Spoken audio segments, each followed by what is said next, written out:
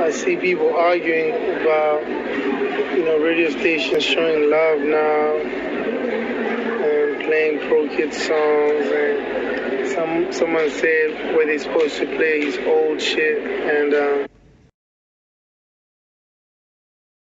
kid and all the legends that um, laid the foundation for us, you know, to be able to travel like this and live like this. We don't take Today was a tough day for me.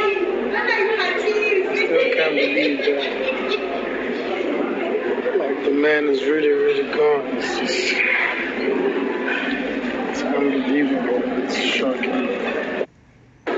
Life is a man's short, man, and I think we're all just preoccupied with a lot of bullshit. You know, we all just put in so much pressure on ourselves. We even forget just, you know, simple shit.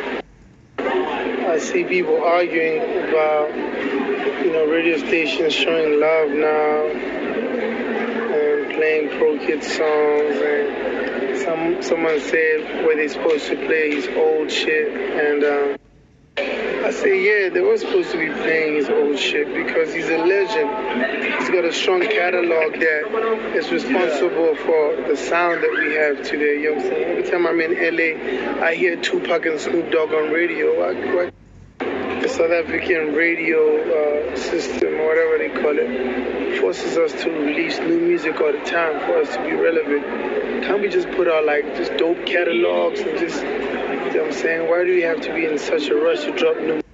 I think the system should help us preserve music instead of having to always drop something. You know what I'm saying? Like, I think it'll also help with the quality of the music that people drop.